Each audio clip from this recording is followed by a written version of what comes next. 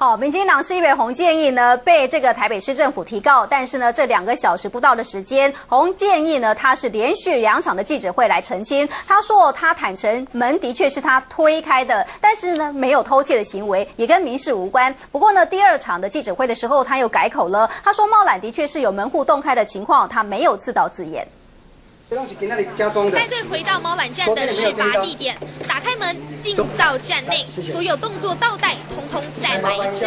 台北市议员洪建义得知自己的踢爆变成市府的被告，怒气冲冲反驳：如果说今天你们有人在那个地方跟我说你不可以撞开，那我撞开或许就不对。我来的时候根本没有人，我一直敲门没有人回应我啊，也没有人回应我啊，所以我撞了两下，那个木板就掉了，掉了，那我就手伸进去开啦。当然还要提告。是他们的权益嘛，对不对？但是如果你提告不成的时候，你小心我提告你们反诬告。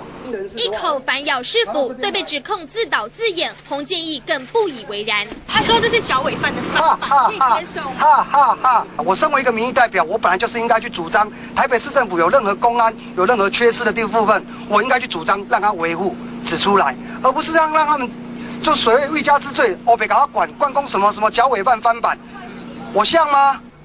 洪建义承认一切都是自己做的，切割这和民事无关。所以星期五下午一点多的时候，我们就来拍了。在礼拜天，也就是昨天下午，哦，记者来找我勘验这所谓的弊案，所以我跟他说有这个问题，要不要一起过去？台北市政府要告民事，我在这边真的对民事的记者、跟民事公司、跟民事新闻台跟他们说个抱歉。拿出猫缆文宣，洪建义说这就是他们偷的东西，监督市政却变成窃盗罪。隔了一个小时后，洪建义再加开一场记者会，这回态度更强硬。门户洞开，这个是事实的门户洞开，你们不要替你们自己找合理的解释，你们应该去针对门户洞开的问题去处理。